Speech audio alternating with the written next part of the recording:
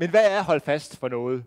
Øh, Udover at, det er, at der er en masse administration og sådan ting bagved, så, så er der faktisk en mening med, med galskab. Øh, vi har arbejdet med en del af projektet, som handler om, om mentorordninger, øh, mentorordninger på tværs i vores øh, diverse konsortier, som arbejder med det her projekt.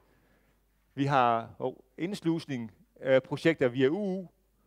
Vi har introduktionsforløb, opsamlingskurser, og vi har digital læringsrum. Det er sådan seks, fem var det forløbet, der er også det, der hedder flere praktikpladser. Det er seks emner, som, som har det, der sådan har været de bærende temaer igennem det her projekt, hold fast. De seks, seks temaer har de forskellige konsortier, som så er øh, dannet på baggrund af 159 partnere. Det er uddannelsesinstitutioner, det er UU'er, der er også nogle kommuner, der deltager, men primært så er det uddannelsesinstitutioner, 159 aktive partnere, der, der arbejder sammen i 10 geografiske konsortier på tværs af de to øh, regioner. Øh, de arbejder sammen og har sammen lavet 450 delprojekter, hvor I altså i dag kommer til at møde nogle af de her delprojekter. Øh, faktisk så er der egentlig øh, næsten 200 partnere i, men de 159, det er dem, der konkret er aktive med projektdeltagelse. Så er der nogen, som jeg tror, Kirsten hun kalder dem sleeping partners. Det er sådan nogle mere, altså det, det, det lyder mere frækt, end det er. Det er, det er faktisk nogen, der er ikke er aktive. Øh, på tværs af det her har vi nogle tværgående workshops og temedage og konferencer, hvor den her jo så er en af, af temedagene.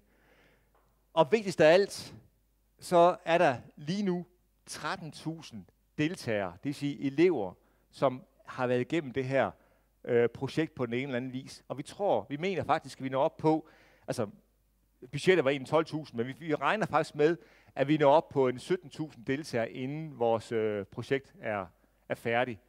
Øh, så det er ganske meget, øh, der laves i det her projekt. Hvorfor gør vi det her? Hvad er den dybere øh, baggrund ved det?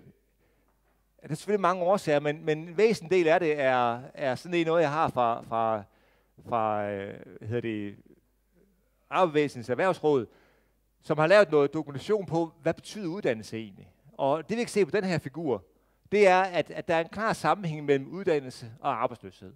Det er et tal fra 2011, som klart viser, at jo mere uddannelse man har, jo mindre risiko har man altså for arbejdsløshed. Og det gælder faktisk hele livet igennem. Øh, det er her først, når man bliver 64 år, der ikke er forskel. Så, så, det, så det er, indtil da, der er der altså en stor, stor, klar og tydelig forskel på, hvis man, er, hvis man har uddannelse, så er der mindre risiko for arbejdsløshed gennem livet. Så det man kan sige, det er, uddannelse, det gør en forskel. Og det er jo godt for os at vide, når nu vi arbejder i den her branche. Så lad os, gøre, lad os fortsætte med at gøre en forskel, og lad os glæde os til at høre alle de her projekter, der nu, der nu bliver fremlagt i dag, fordi I alle sammen med til at gøre den her forskel. Så velkommen til.